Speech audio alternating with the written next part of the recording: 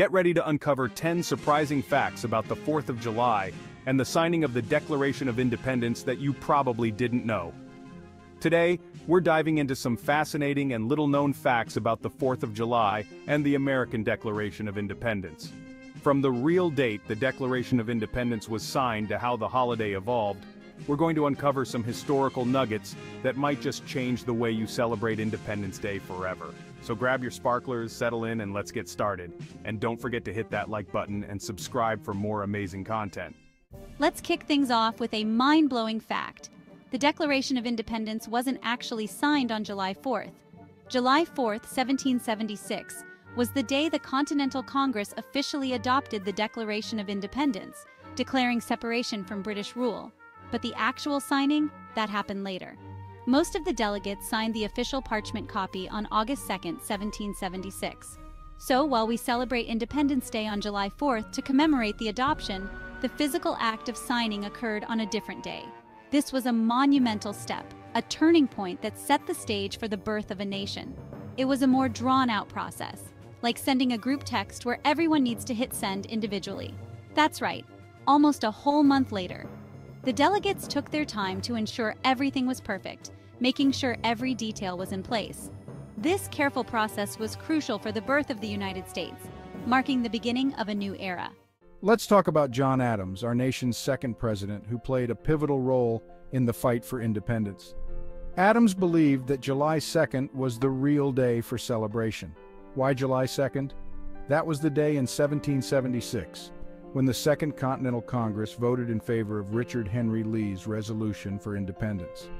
Adams even wrote to his beloved Abigail, The second day of July 1776 will be the most memorable epoch in the history of America. He believed it would be celebrated by succeeding generations as the great anniversary festival. Talk about foreshadowing, right? Except things didn't quite go as Adams predicted. The 4th of July, the day the Declaration of Independence was adopted, became the day etched in the hearts and calendars of Americans. Adams went to his grave believing July 2nd should be the day.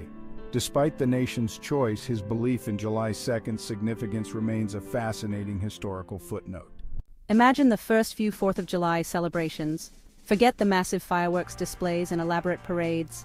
The early Independence Day celebrations were much more low-key, Think small, community-based gatherings with public readings of the Declaration of Independence.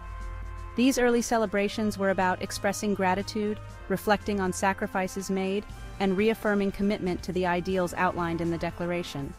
It was a time for communities to unite, to share a sense of pride and purpose. It's fascinating to see how the way we celebrate has evolved over time, from those humble beginnings to the grand spectacles we see today. But at its core, the spirit of Independence Day remains the same, a celebration of freedom, unity, and the pursuit of happiness. Today we honor those early traditions while adding our own modern twists, like fireworks and parades, to keep the spirit alive. While the first few Independence Day celebrations were more subdued, things started to change in 1777. Philadelphia, the birthplace of the Declaration, decided to throw the first official, organized celebration of Independence Day. They pulled out all the stops, well, at least the 18th century version of all the stops. Parades with soldiers and bands, the booming of cannons in a 13-gun salute, and the dazzling spectacle of fireworks illuminated the night sky. This celebration wasn't just about having a good time, it was a display of defiance, a way to boost morale during the Revolutionary War. It was a powerful message to the world, and to Great Britain, that the newly declared nation was here to stay. The celebration was a resounding success, setting the stage for future Independence Day celebrations to become bigger, bolder, and more extravagant. The streets of Philadelphia were filled with joy and patriotism, marking a significant moment in American history. Before fireworks became synonymous with the 4th of July, early Americans turned to other methods to express their patriotic joy. Bells, often rung from churches and public buildings, became a sonic symbol of freedom. They filled the air with their joyous peals, echoing through the streets and countryside. Bonfires, blazing brightly against the night sky, served as beacons of unity, drawing communities together. People would gather around these crackling flames, sharing stories, songs, and perhaps a tankard or two of ale as they celebrated their hard-won independence. These traditions, while simple, were deeply meaningful. They were a way for ordinary people to participate in the festivities, to express their patriotism, and to connect with their communities. Over time, these celebrations evolved, but the spirit of unity and patriotism remains unchanged.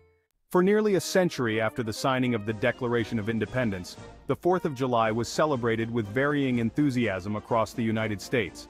In 1870, it was officially declared a federal holiday.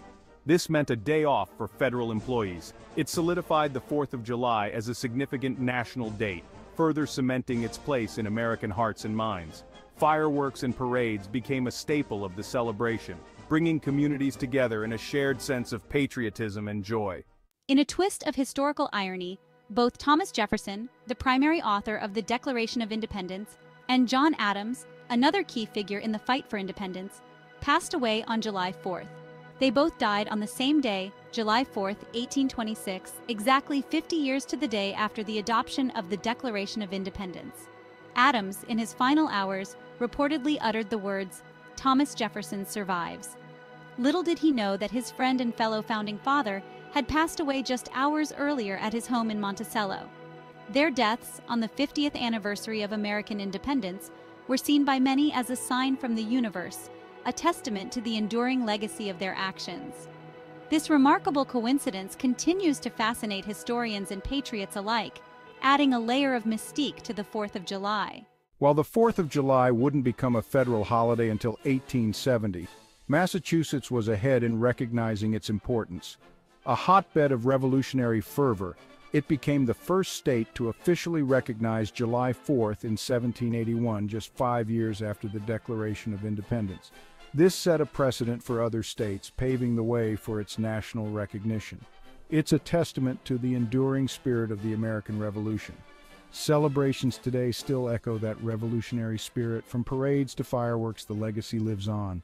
Every year on the 4th of July, a time-honored tradition takes place in Washington, D.C.